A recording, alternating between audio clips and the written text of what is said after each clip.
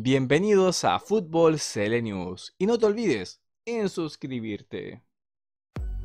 Tras una serie de rumores que fueron creciendo con el paso de los días, finalmente el argentino Juan Manuel Asconzabal dejó Deportes Antofagasta para volver a dirigir en Argentina, específicamente en Unión de Santa Fe. A través de un comunicado, el elenco Puma informó un mutuo acuerdo con Manuel Asconzabal y su ayudante Ariel Zapata para que deje la institución indicando lo siguiente. Con este acuerdo ya señalado hemos dado las facilidades necesarias a los señores Asconzabal y Zapata para que continúen desempeñando su carrera profesional en su país, como manifestaron era su intención en este periodo de pandemia. Se espera que en los próximos días Asconzabal y Zapata tomen el mando del elenco argentino.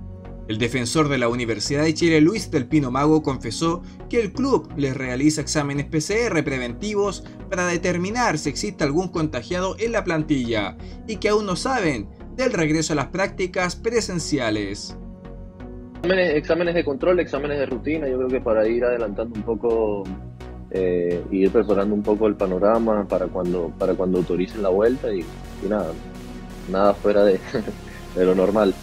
Yo creo que la vuelta de los entrenamientos será cuando, cuando la sanidad así lo, así lo autorice. Eh, no es algo que, dependa, entonces no, nos han transmitido ningún tipo de información concreta con, respecto al tema. Nos mantenemos nada, entrenando desde, desde la casa, eh, haciendo lo, que venimos haciendo y esperando que, se solucione esto para, para así poder volver lo más pronto posible, pero, pero sinceramente hasta, hasta hoy no, no tenemos aún una respuesta que, concreta con, con el tema de la vuelta.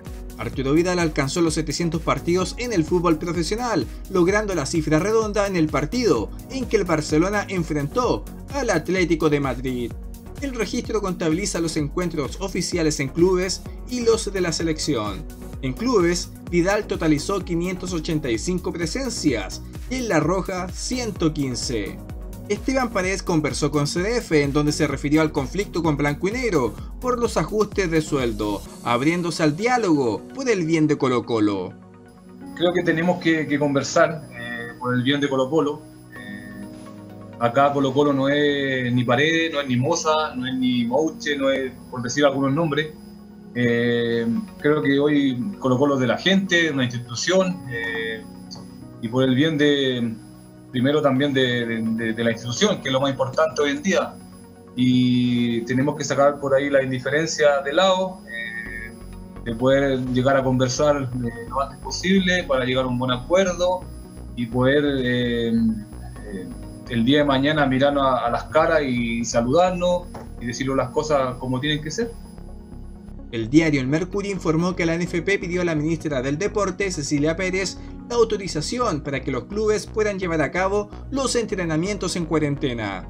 A través de una carta, los elencos indicaron que las prácticas no implica fijar una fecha para el regreso del fútbol, pero sí permitiría un retorno más acorde con los niveles de competencia, en donde parte del comunicado dice así se hace imprescindible reanudar el proceso de entrenamiento tanto físico, atlético como técnico-táctico, para luego de un periodo adecuado de trabajo y cuando las condiciones epidemiológicas y la autoridad sanitaria nacional lo permitan, se pueda reanudar la competencia con un calendario más exigente, con riesgos razonables para los deportistas.